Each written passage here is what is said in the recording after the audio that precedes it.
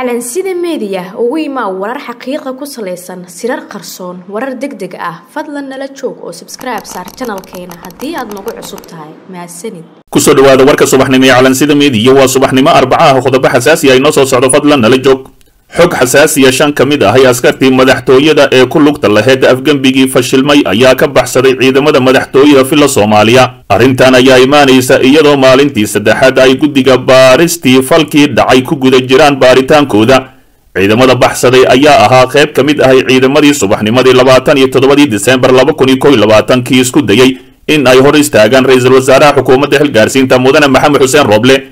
Madaxweynihii hore soomaaliya dhoohane maxamed cabdilaahi farmaajo ayaa saraakiishani macquul ay tahay inuu yidhi baxsada islamarkaasina raadadkii ayaa soo galay. Guddiga uu magacaabay ra'iisul wasaare maxamed xuseen rooble xataa farmaajo ma hor istaagi karo maadaama ay yihiin wasiiro si dhow ula shaqeeya ra'iisul wasaare maxamed xuseen rooble islamarkaasina howshooda si fudud u samaynaya. Si kastaba ha ahaatee saraakiishii sida qaaska aheyd amaradaas u bixisay amaba taangiyada hogaaminayay ayaa la sheegayaa in shan ka mid ahi ay ka baxsadeen madaxtooyada filla soomaaliya hase ahaatee sirdoonka ra'iisul wasaare maxamed xuseen rooble ayaa ku daba jira. Wararkii ugu dambeeyey ayaa sheegaya in gacanta lagu soo dhigayo saacadaha soo socda. Dhinaca kale wakiilka qaramada midoobay soomaaliya james swam ayaa war ka soo saaray kulankii ay wakiilada beesha caalamka la yeesheen golaha wadatashiga qaran kaas oo lagu gorfeeyey saxidda iyo dardargelinta doorashada dalka james swam ayaa qoraalkani ku sheegay inuu ku faraxsan yahay inuu ka mid ahaa saaxiibada beesha caalamka ee la kulmay madaxda soomaalida si taladooda ay ugu biiriyaan shirkaasi. Waxa uu yidhi golaha in ay dardargeliyaan hanaanka doorashada soomaaliya oo ay wanaajiyaan kalsoonida ay ku qabi karto dhammaan ummadda soomaaliyeed ayaa lagu yidhi qoraalka ka soo baxay xafiiska james swam shirka golaha wadatashiga qaran oo doraad muqdisho ka furmay ayaa waxaa looga hadlay xaaladda cakidan iyo muranada xooggan ee hareeyay doorashooyinka ka socda dalka waxaana lagu casumay wakiilada beesha caalamka oo taladooda ku biiriyey madaxda. Si kastaba ha ahaatee shalay waxaa ku soo biiray shirkaasi midowda musharaxiinta mucaaradka waxaana ka maqnaay xasan sheekh maxamuud iyo xasan cali khayre. Waxaana wakiil ka ahaa sida la wada og yahay guddoomiyaha midowda musharaxiinta mucaaradka sheekh shariif sheekh axmed. Dhinaca kale maxkamadda darajada koowaad ee ciidamada qalabka sida ayaa soo gebagabeeyey dacwadii kiiskii dilkii loo geystay laba ruux oo walaalo ahaa kuwaasi oo lagu kala magacaabi jiray sakariye iyo sawdo labadii bishii hore ee desembar ayay ahayd markii labada ruux ee walaalaha ahaa lagu dilay xilli habeen ahi isgoyska debka waxaana kiiskooda loo haystay laba askari oo ka tirsan ciidamada xoogga dalka soomaaliyeed. Maxkamadda ayaa waxay xukun ku riday askartii loo haystay dilkaasi oo lagu kala magacaabi jiray dable xoogga cabdi waayeel macalin aadan iyo dayax nuur cabdi aadan. Guddoomiyaha maxkamadda darajada koowaad ee ciidamada qalabka sida gaashaanla sare xasan cali nuur shuute ayaa sheegay in dable xoogga cabdi waayeel macalin aadan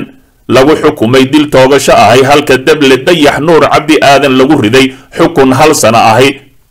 oo u dhiganta dembigii uu galay. Goobta maxkamadda oo ay ku sugnaayeen ehelada sakariye iyo sawdo iyo labada askari ayaa lagu soo bandhigay baaritaan la xidhiira sida falka uu dhacay waxaana la sheegay in rasaasta ay ku geeriyoodeen labada walaalo ahi uu riday dable cabdiwaayeel. Iyada oo sheegtay in laba xabadood oo uu dable dayax u riday aysan cid waxba ku noqon. Dacwadan kiiska dilka labada walaalo ahi oo muddo socotay ayaa ugu dambayntii cadaalad helay kadib markii ehelada marxuumiinta ay wacad ku mareen inaysan marnabo aqbali doonin in meel lagu tuuro kiiskooda oo aan waxba laga qaban. Haddii kale ay gacantooda ku doonayaan sharciga dhinaca kale xukuumadda ra'iisul wasaare maxamed xuseen rooble oo gashay heshiis cusub oo ku kacaya boqol siddeetan iyo shan milyan oo dollar. Wasiirka shaqada iyo arrimaha bulshada xukuumadda cabdiwahaab ugaas xuseen khaliif ayaa xafiiskiisa ku qaabilay wakiilka hay'adda w f b ee soomaaliya master dulum oo ay si qoto dheer uga wada hadleen sidii loo xoojin lahaa. Iskaashiga wasaaraddu ay la leedahay hay'adaha w f b kulanka ayaa diiradda lagu saaray sii ballaarinta wada shaqaynta labada dhinacyada oo lagu saxiixay heshiis wada shaqayn ahi oo gaaraya lacag dhan boqol siddeetan iyo shan milyan oo dollarkaasi oo qayb ka ah barnaamijka qaran ee taageerada dadka nugul ee baxnaano. W f b ayaa sidoo kale door fulin ka qaadanaysa mashaariicda deg dega ahi ee taageerada qoysaska ayaxu saameeyey iyada oo xukuumadda gacan ka siinaysa ka jawaabidda abaaraha. Fadlan dib u daaw wararkeenii hore ee calansida meediya wararka naga soo gaaraya magaalada dhuusamareeb ee xarunta maamulka galmudug ayaa sheegaya in uu goor dhoweyd ka qarxay dagaal u dhexeeya ciidamo ka wada tirsan kuwa dowladda federaalk soomaaliya ciidamo ka tirsan kuwa gorgor iyo ciidanka booliiska ilaaliya xarunta degmada iyo baraha kontarool ee ku dhow ayaa dagaal culus ku dhex maray. Kadib markii ay ciidamada gorgor ay ka hor yimaadeen howlgallo ay wadeen ciidamada booliiska oo ka dhan ahaa maandooriyaha wararka ayaa intaasi ku sii daraya in ciidamada dagaalka u dhexeeyey in uu jiro khasaare dhaawacyo ah oo labada dhinac ay soo kala gaareen iyada oo askarta dhaawacooda la gaarsiiyey isbitaalka guud ee magaalada dhuusamareeb dagaalka ayaa saameeyey isku socodka dadka iyo gaadiidka ee magaalada dhuusamareeb iyada oo bulshada qaybaheeda kala duwan ay walaac ka muujiyeen dagaalkaani oo u dhexeeyey ciidamada dowladda federaalk soomaaliya. Waxa uu ku soo aadayaa iska horimaadkaani dagaalka ee u dhexeeya ciidamada gorgor iyo kuwa booliiska xilli ay maalmihii dambe ciidamada gorgor ay wajahayeen eedeymo la xiriira qalqalgelinta amniga ee magaaladaasi ilaa iyo hadda ma jirto wax war ahi oo ka soo baxay laamaha ammaanka iyo maamulka dhuusamareeb oo ku aadan dagaalka maanta dhex maray ciidamo ka wada tirsan dowladda federaalk soomaaliya. Madaxweynihii hore soomaaliya doohane maxamed cabdilaahi farmaajo ayaa si sharci darro ahi ciidamada gorgor halkaasi ugu daldalay islamarkaasina asiga oo garab siinaya madaxweynaha laba wajiilaha ah qoorqoor ee jeebka ugu jiro farmaajo. Si kastaba ha ahaatee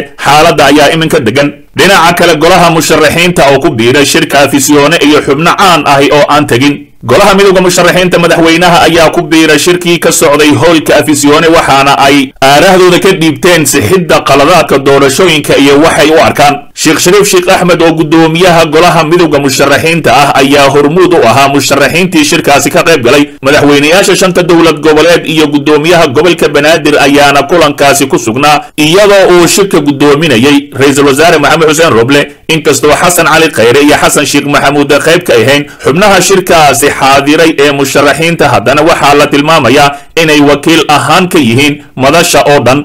musharaxiinta ayaa soo jeediyey in ay doorashadu noqoto mid daahfuran si looga fogaado dagaal iyo buuq waddanka u horseeda dib u dhac xoogan dhinaca kale xubnaha golaha wadatashiga qaran oo ka kooban ra'iisul wasaare maxamed xuseen roble madaxda maamul goboleedyada dalka iyo duqa muqdisho ayaa maanta kulan la yeeshay wakiilada beesha caalamka oo ku biiray wadahadallada ugu socda teendhada afisyoone shirka oo shalay soo bilowday ayaa waxaa looga hadlay xaaladda cakiran ee dalka iyo sidoo kale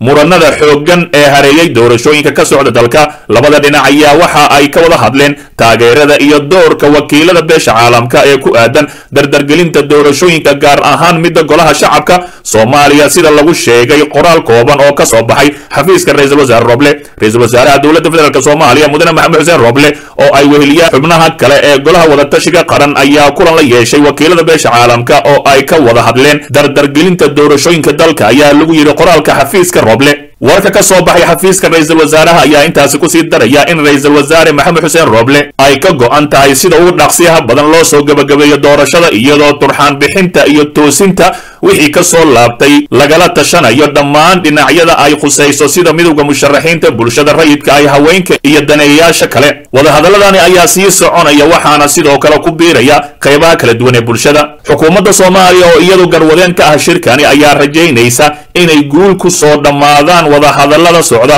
oo ku aadan xilli aad loogu baahnaa si kastaba xaaladda dalka uu marayo ayaa ah mid aad u cakiran waxaana dadka soomaaliyeed ay isha ku wada hayaan qodobada ka soo baxa shirka golaha wadatashiga qaran waxaana dibadda ka jooga oo fila soomaaliya ku dhex jira. Madaxweynihii hore soomaaliya dhoohane maxamed cabdilaahi farmaajo ciil iyo calool xumo ayuuna la joogaa fila soomaaliya maadaama awooddii oo idil oo weli sii wato. Ra'iisul wasaare maxamed xuseen roble dhegaystow ogow haddaadan xalka qayb ka noqon waxaad qayb ka tahay dhibaatada dalka